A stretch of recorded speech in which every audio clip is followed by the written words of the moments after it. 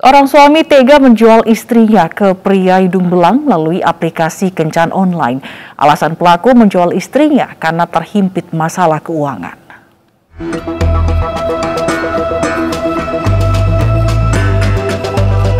Anggota Satuan Reserse Kriminal Polres Serang Kota menggerebek tempat kos di Kalingandu, Kecamatan Serang, Kota Serang, Banten dari penggerebekan tersebut, petugas berhasil mengamankan sepasang suami istri dan sepasang kekasih yang menjalankan bisnis prostitusi online. Ironisnya, pelaku muncikari justru menjajakan istrinya dan kekasihnya untuk melayani pria hidung belang, sementara pasangan suami istri ini telah memiliki anak yang masih balita. Berdasarkan pengakuan pelaku, sekali kencan korban ditarif 300 hingga 500 ribu rupiah Sehari bisa dua hingga tiga pria hidung belang dilayani di kamar kos tersebut. Dan selama satu bulan, pelaku bisa mengantongi 10 juta rupiah. Sementara motif pelaku menjual istri dan pacarnya ini karena masalah ekonomi untuk mencukupi kebutuhan hidup sehari-hari. Sadar, Pak. Sadar. Digunakan uangnya untuk apa? Kebutuhan ekonomi, Pak.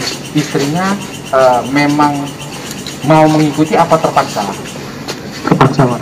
Terpaksa. Adapun barang bukti yang diamankan berupa alat kontrasepsi dan uang tunai ratusan ribu rupiah. Delapan orang perempuan.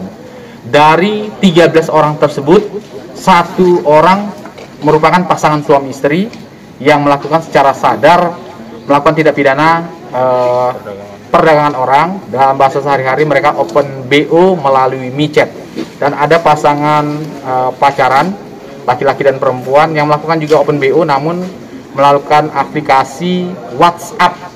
Kita akan dalami peran siapa saja yang menyuruh perbuatan tersebut. Namun dari informasi dan dari hasil interogasi kita, kita akan tetapkan tersangka kepada dua orang pelaku yang mana mereka kita kategorikan sebagai mucikari.